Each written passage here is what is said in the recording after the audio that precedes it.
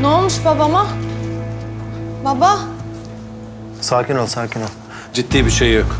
Trafik kazası geçirmişler. Kulağının arkasında hafif bir yara var. Olsun olsun. Biz yine bir kafa tomografisi alalım. Alındı.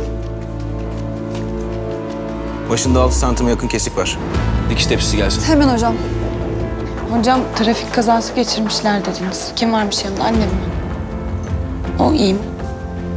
Yani iyi görünüyor. Kontrol edelim dedim ama dinlemedi. Babanı bırakıp gitti. Nasıl gitti? Nereye gitti?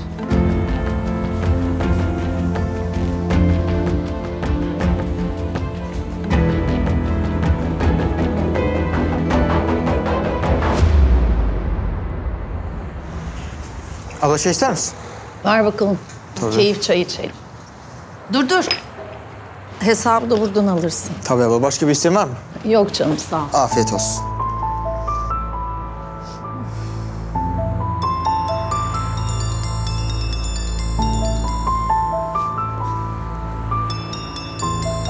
Kuyruğunu sıkışınca ararsınız tabii. Söyle. Neredesin sen babamı burada bırakıp gitmişsin? Ne oldu? Burun kıvırdığın baban kıymete mi bindi? E tabii. Anne sen ne yaşadın diye soran yok.